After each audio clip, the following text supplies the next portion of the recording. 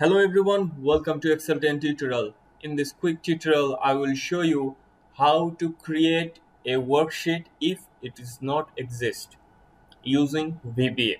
Now let me clear that statement. What I'm gonna do, I'm gonna create a new worksheet. And before creating a new worksheet i'm going to check if that worksheet is already exist in that workbook okay? That means uh, now i have only sheet 1 so if i want to create a new worksheet named sheet 2 first i will have to check if the sheet 2 worksheet is already available in this workbook or not. If it's not available in this workbook then i'm going to create it. If it's already exist in this workbook i will not create it okay to do that, I'm going to use Visual Basic for Application, VBA, and let's get started. First, click on the Developer tab. If you don't find the Developer tab in your ribbon or if you don't know how to access it, then check out this video. It will show you how you can enable Developer tab on your ribbon. Now, click on Visual Basic, click Insert, click Module. Now you are going to need a VBA code and I have already written it and the link is in the description below. So here goes the code.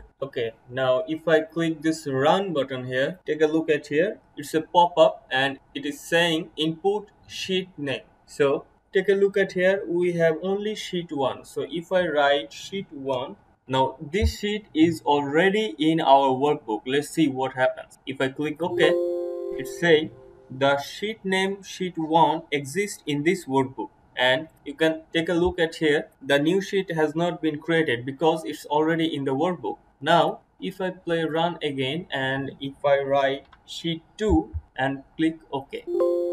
And take a look at here. The sheet name sheet 2 does not exist in this workbook but it has been created now. Okay?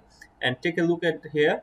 We have a sheet that named sheet 1 and now we just created another sheet which is sheet 2 so this video is helpful if you have a workbook with a lots of worksheet and you don't know which sheet exists or not but you need a certain sheet to be in that workbook then you can use this now if you are kind enough to offer me a coffee here is the link and uh, don't forget to subscribe and check the VBA code from the link in the description Thank you. Thanks for watching. Don't forget to subscribe.